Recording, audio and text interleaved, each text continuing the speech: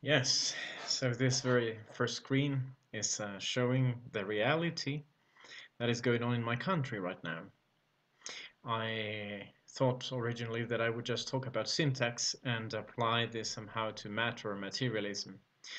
But what happened basically is that uh, this guy here, Merino, he basically kicked out our president and positioned himself only for six days because then all of these riots that you see of people uh, fighting the, the police force and people demonstrating uh, well, basically um, got him to move out. And so now we have a new president, and uh, this was elected. Uh, this person was elected just today. And unfortunately, uh, two very young boys uh, are now dead. You know, and you have some people that have disappeared. So in this sense, why am I talking about this? It's because, mm, well, the world is in trouble. It's not just my country, right? We know that in France, a teacher was beheaded because he showed some, um, I don't know, um, caricatures of uh, Prophet Muhammad. Uh, we, we, I don't need to go through all the problems that we have, but I really value the opportunity of being now and here talking about ethics because it really concerns us all, not only as researchers but as human beings. And well, in that sense, uh, my presentation changed to become syntax, arts, and ethics, conjoining Aristotle and Spinoza. And uh, I will I will give an account about how these two philosophers can contribute with useful thoughts for us uh, in these two dimensions in, in the arts and the ethics. And how this weird concept of syntax, uh, curiously enough, is very relevant in both.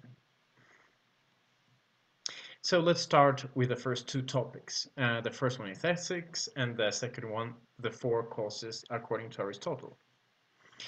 So what is ethics about, really? I mean, um, well, there are a number of things that we can associate it with, right? How to live a good life, what are our rights and responsibilities, what is right and what is wrong, um, and it can also refer to, okay, but why do I think that this is right or wrong, or why do I think that this is a good life to live, you know? So uh, revising our own uh, beliefs about how we should act. But this is uh, perhaps my point that uh, ultimately ethics for us human beings, I mean, ethics is, I would say, proper of us, right? And, and ethics is related to action as, as subjects that can, uh, that exist in a symbolic world and in a performative world, in a multidimensional world, right? That is intersubjectively given.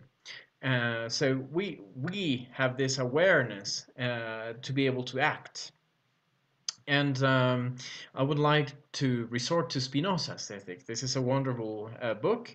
This very uh, nice man that you see here, well, he was literally damned by his uh, Jewish community in the Netherlands. And uh, this was not a closed, conventional, I don't know, like a super dogmatic community. They were all very open to exchange of ideas, but uh, Spinoza's uh, ideas were just so radical that they, they couldn't cope with them.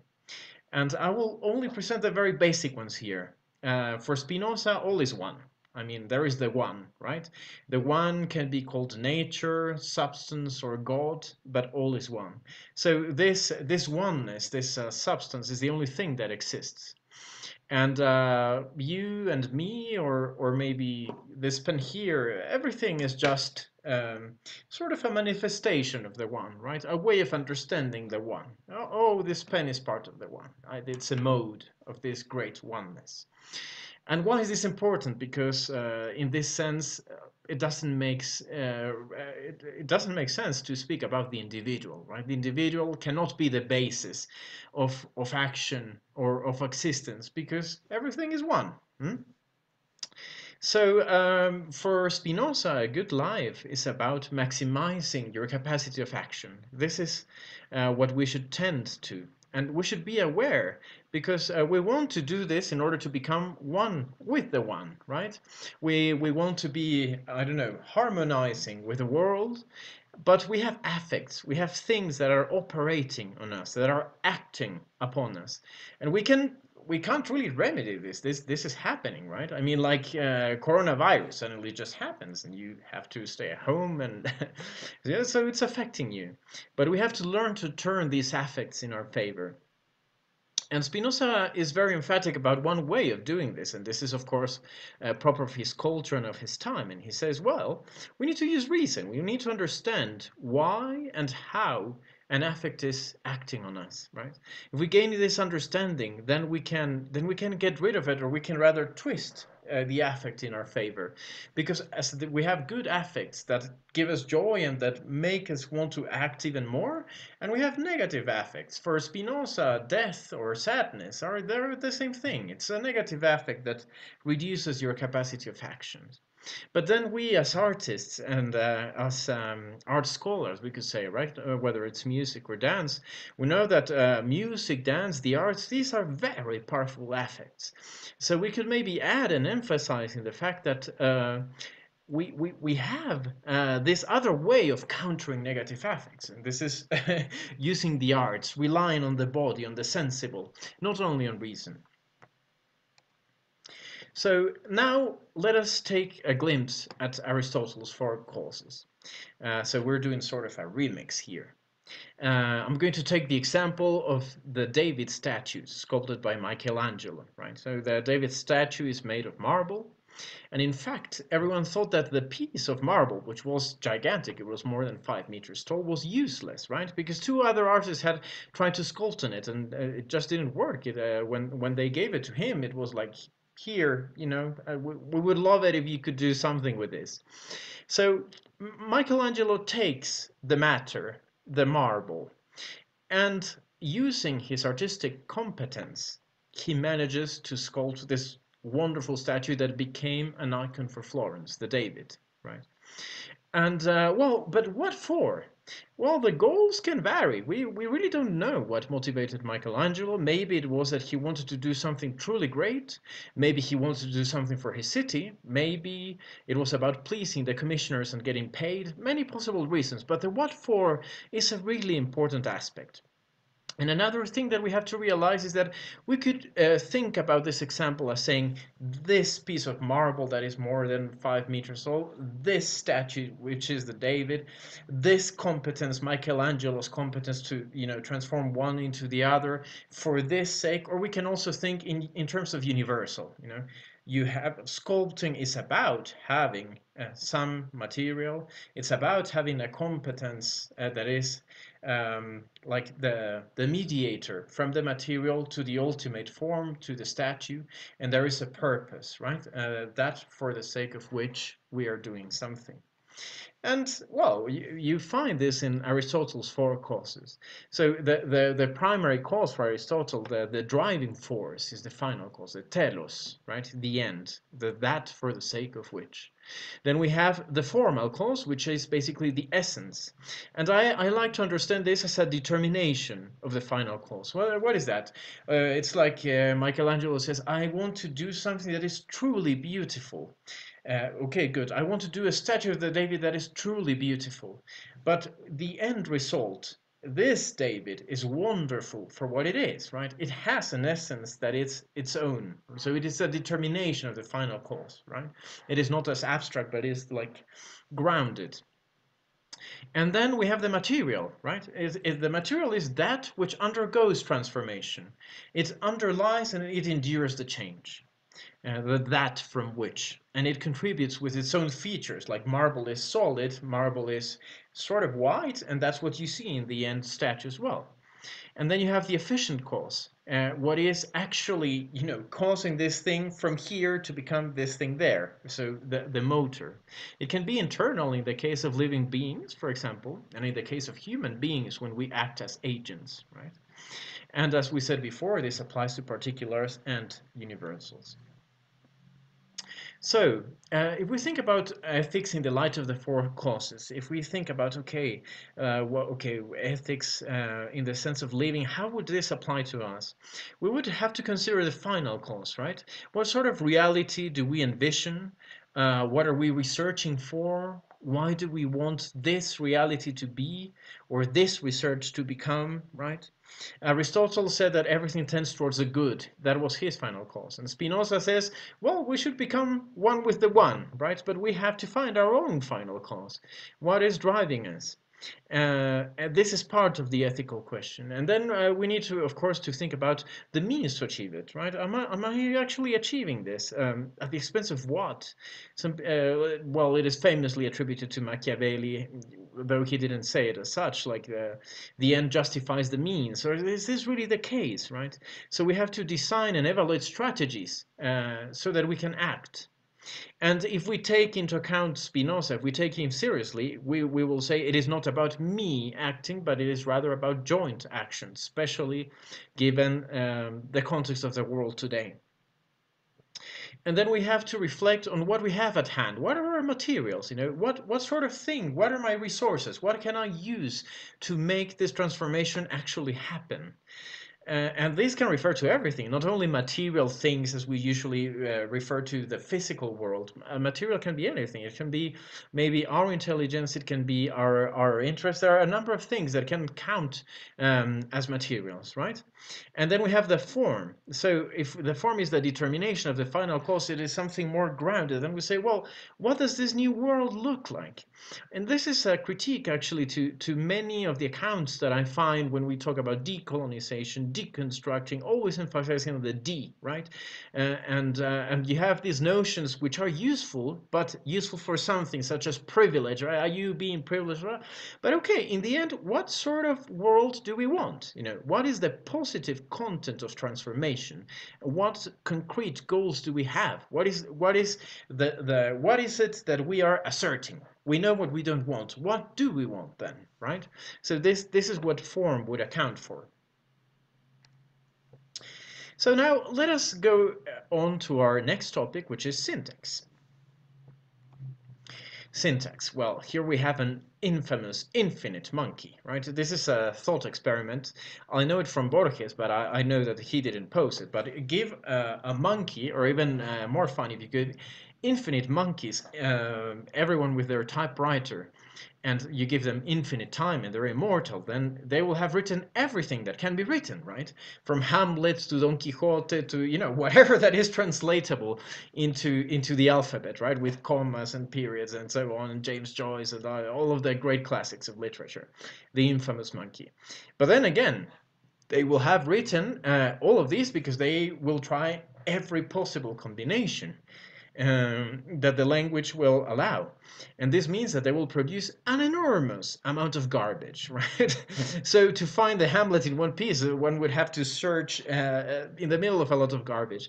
And that's why, because, you know, they have no rules to see what counts as valid, what would make sense, linguistically speaking, or not. They just have the materials. They just have the alphabet characters, the minimal elements from which um, a piece of writing can be composed. And so uh, Monkey can say, I love music. Uh, they will write something absurd as music love I.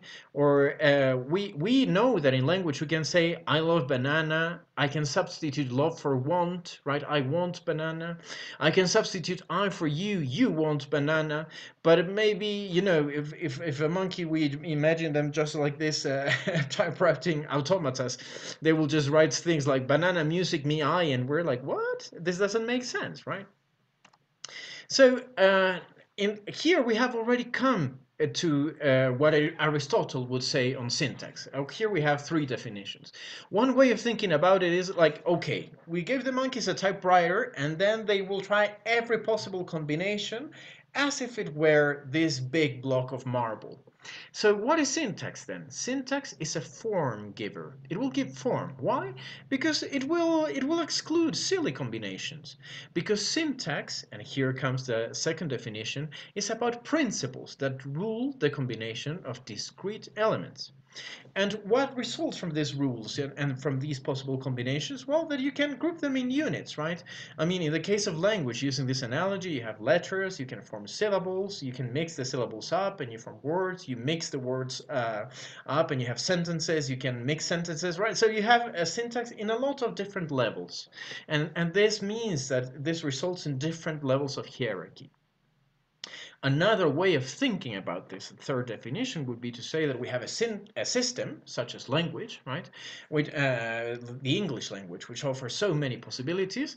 And now that I am speaking, and when you speak, and or when you see a, a text, and this is the actuality of language, its actualization, it is language put into practice.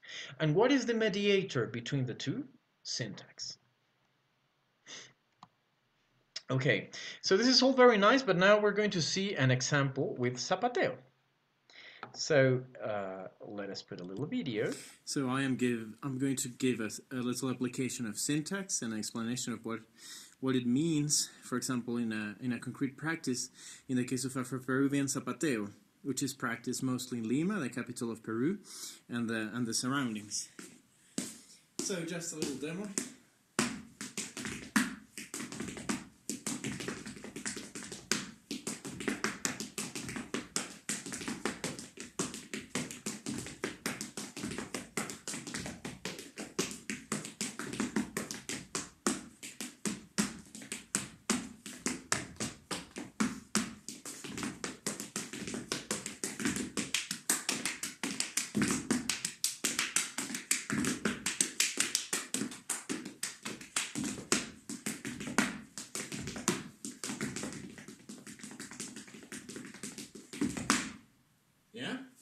So that's a little demo of Zapateo. Let us analyze a movement sequence that I didn't do. Movement sequences in Zapateo are called pasadas. So, we start with this pasada.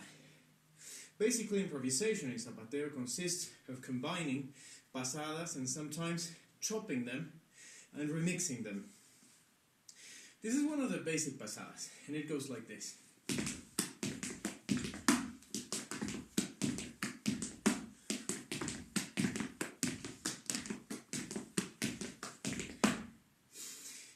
Pasada is composed, it is generated by only three movement cells. Very compact units. The first one is this one. Until there. Second one, three steps. Third one, the joker. Because you can fit it in everywhere. Like the joker card. Yeah? So from this, from these movements, hands, three steps, and joker, you can generate the longer sequence.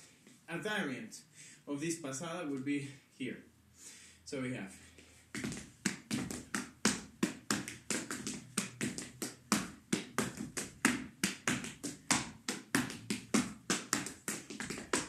Yeah, that's a possible variant. Uh, this would be the second one that I'm showing. A third one, a little bit more complex, would be the one that follows.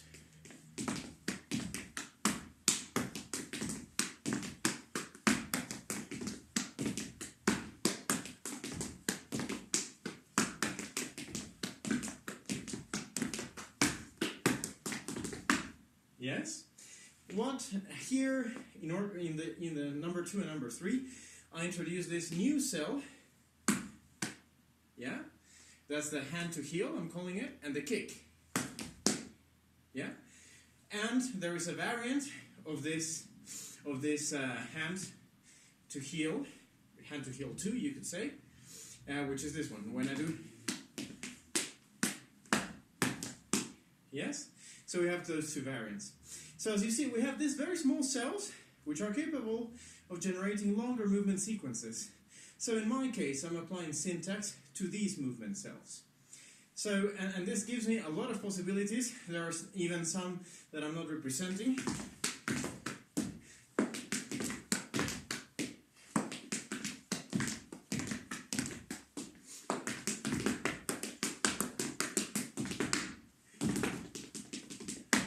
So there is a lot of possibility of mixture, but the whole improvisational structure is based on these simple movement cells. Now we go back to the presentation.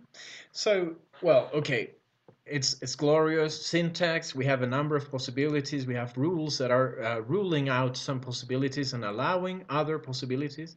But how could I express this? Actually computer science has a branch that is especially dealing with syntax. And uh, this branch has a technique or let us say a theory like formal theory that is called finite state automata right? So um, together with the dance syntax group uh, whom i will acknowledge at the end we are working on applying the finite state automata mm, to dance, to represent. So I can't explain the diagram in detail now, but what I can say is first I said okay. So we had we have um, we had three possibilities, right? The orange one, then I showed uh, the sky blue one, and then in the end the one that was more complex and that looks more complex there is the green one if you if you look at it, it's just balls and arrows. It's really simple to use, and that's why I like this method very much because it's it's like uh, graphically not complicated and conceptually very clarifying, and it, it shows what syntax actually is about, right? So we start here. I do the hands motif,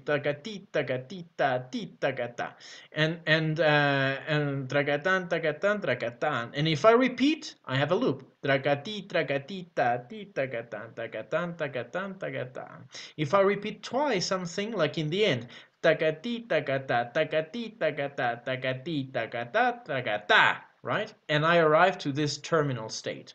That's the principle of the method. Mm.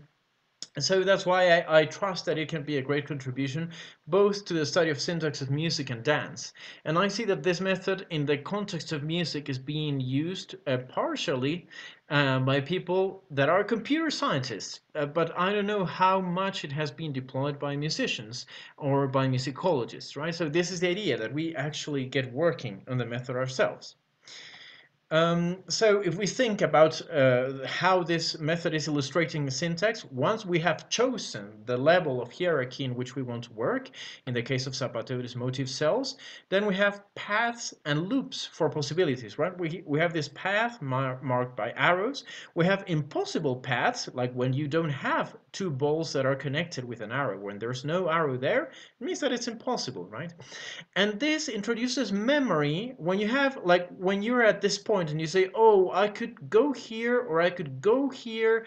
In some cases, this depends on what you did already, right? This decision depends on what you did. In that sense, this is a system with memory. We are using our memory when we dance. And on the other sense, a very important aspect of syntax is expectation, because we know the structures. And when we're at a, at a particular point, like um, let us say here, right, in this S3B, then I say, oh, okay, I have this option, so I, I know what to expect.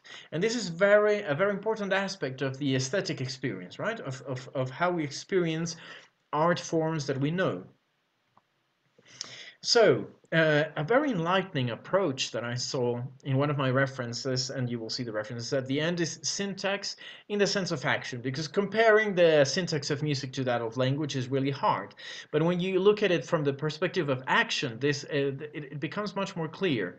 So, uh, as I said, syntax is related to expectation and memory, because uh, when we are going to act, if we think about, okay, not just syntax as an abstract, like me trying to improvise in the piano some uh, based on a standard melody if I'm playing jazz, right? Or me trying to dance zapateo, or you doing this or that, right? Then we have plans which consist of sub-actions and that are hierarchically organized in a meaningful way because we want to achieve a goal. A very silly example is I want a cup of coffee, I extend my arm, I take the cup, I bring the coffee to my mouth, I incline the cup and I drink, right? So this is sort of what the plan would be. And um, this is a nice way of understanding meaning because we usually say, oh, this means that, right? Like meaning uh, in a representative sense, referring to something else. In this case, no. Meaning is about, okay, I want to do this. What do I have to do in order to do that? And, you know, I, I did this. Am I doing it well? I'm playing the piano. Am, am, I am I playing the, the right notes or am I improvising gracefully to the bass line? You know, so uh, you, you, it's about assessment of action, right? How What we want to do, what we're doing, and how good are we doing in relation to what we want to do? That's another way of understanding meaning. And um, you know, uh, so we, if you have a different intention of action, then you have different meanings. So in this sense, of course, eh, the, the intention of action in the case of of the arts is different from language. In language, it's mostly about communicating or asserting things, uh, propositional language. In the case of music, it's about affect, and, and these uh, that means that uh, the two are fundamentally different, right? So in this sense, we can understand syntax from a very different perspective we can say that it's about uh, how the elements that we have stored as cognitive agents and their relations can be translated into sequences. So uh, in this sense, this this translator is syntax. We have elements in our head, we, we, or in our head, in our body, whatever you want to say it, whichever way you want to construe it in. But you have these elements, and these elements are interrelated in you as an agent, and you're going to translate it into a realization of something. And so this requires your body in order to have action uh, motor control. You're also going to have action planning, as we said. And then you need the sensory motor integration because you need to see, okay, I am playing this. Is this the right note or not, right? So actually, defining syntax in this way is the same as saying that syntax is competence. Syntax is Michelangelo's competence uh, in virtue of which he sculpted the David, right? Uh, syntax is Miles Davis' uh, competence uh, when he wants to improvise uh, when he plays Autumn Leaves, right? So, so uh, syntax as a mediator. This is a beautiful way of understanding it, and it has a direct application to what concerns ethics and art. So we already posed a number of questions in ethics, right? What reality do we envision? What are we researching for? By which means? At the expense of what? Uh, in the case of art, we can say, okay, what's my goal as an artist? Which elements am I considering? How are these related to each other? You know, how do I take? Uh, what do I take to be my materials when I when I do art? Um, and in, in this sense, in the context of ethics, it is useful to think about power relations because power relations, uh, Foucault says, is it's about controlling what others can do, their space of possibilities, their syntax, right?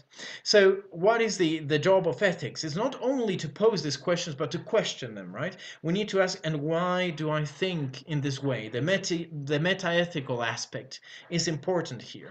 So what is my stance? I mean, what am I doing myself?